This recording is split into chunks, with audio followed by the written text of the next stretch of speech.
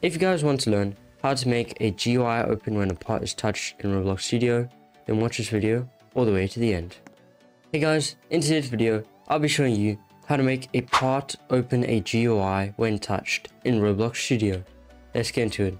So the scripts are in the description and let's get started. Okay, so first you want to make your part and make sure it's anchored. And I'm just going to make it a bit bigger like that and we'll color it. Okay, we'll rename this to GUI part. The name doesn't really matter. I'm just doing this so it's nice and neat. GUI part, there we go. Okay, so now insert a script into it. This is the script that will be in the description, so I'm going to just quickly write it out. So script.parent.touch connect function hit. So basically what's happening is whenever this part gets touched, it is getting uh, the part that hit it.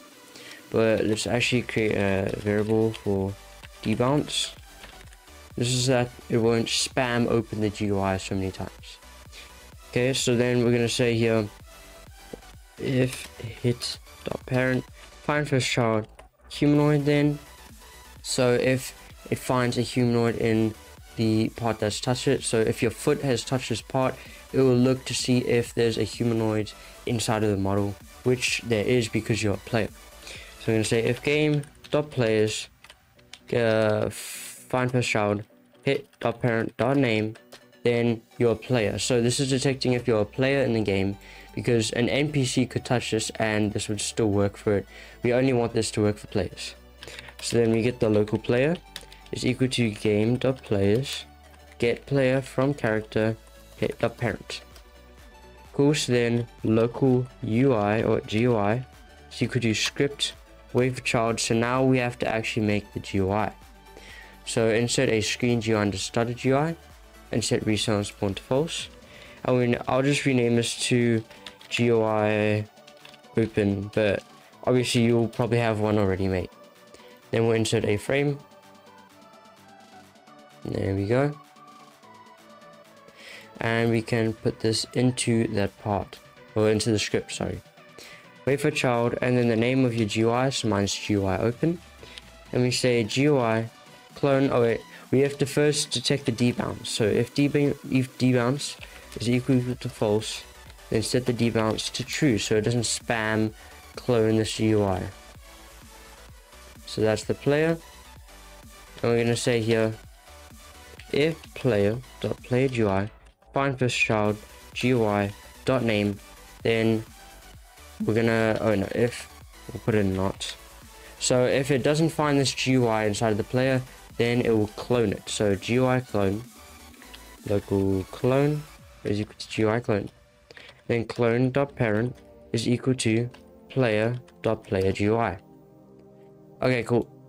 So now we can actually go and test this real quick. So if we step on here, this will show up and if we go into the player GUI, you'll see GUI opens there. And if we step on the pod again, there is not another one because we detected if the GUI was already here. So there's only one of these. And now I'm going to show you how you can make it disappear or you can add a close button into this. So to make it disappear, what we do is say spawn function GUI and we're going to put this into this and then we'll say task dot wait this is how long you want the GUI to show for so I'll do three seconds. And then clone destroy. Okay cool. So let's test it out real quick. So in the player GUI boom GUI opens here. And it should destroy. There we go. So okay it's not working again. Okay so let's just check here. Oh yeah because we haven't set that debounce back to true. So debounce will be one second. So debounce is equal to true. I actually don't think we need the spawn function. That was just in case, just to see what would happen. Okay, let's paste that back there. Okay, so let's see what happens now. Play GUI. So here's the GUI. And it goes away. Okay, and it doesn't work again. Just check what's happening. So debounce is false, debounce is, oh, because we set it back to true. Sorry, we are supposed to set it to false. The script that will be in the description will be the fully working version. So now if we go here, GUI is there.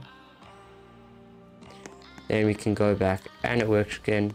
And if we step on it while the GUI is here, you'll see nothing else happens. There we go. Okay, so now let's add a close button to this. So we're going to get rid of that because we don't want to destroy it. So now in the GUI, let me just drag it here so I can see what I'm doing. Add a text button. We'll make it red. And we'll go to there.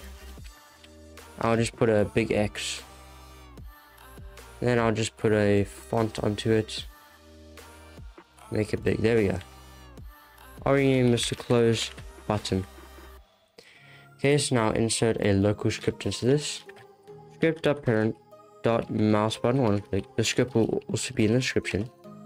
Script.parent dot parent dot parent destroy. So parent parent parent. Okay, cool. So if you're if you've got like other frames here with this button in it, you'll want to adjust the script to add more parents to it because uh, your GUI will obviously be different. So for each thing that's in the way, so like look, if I add in a frame, then we'll have to add another parent to this because there's an extra like thing on top that you have to add into it. So mine's only three because look, the script's in here, one, two, three, and it's got three parents in here. So that's what parents are. Okay, so now let's drag it back there. And let's test it. So if we go in here. And then step on it again, it will not come back. We can close it. And now... Okay, uh, I think I know what this is. Pretty sure this has to be a script. Because scripts detect scripts and they don't detect local scripts. So Let's delete that. Let's try it again. So we step on here. Step on again, nothing happens. We delete it. And there we go, it came back. So yeah, you can add in other things into this GUI, but I just added a simple close button. So yeah, that's it for today's video. Bye guys.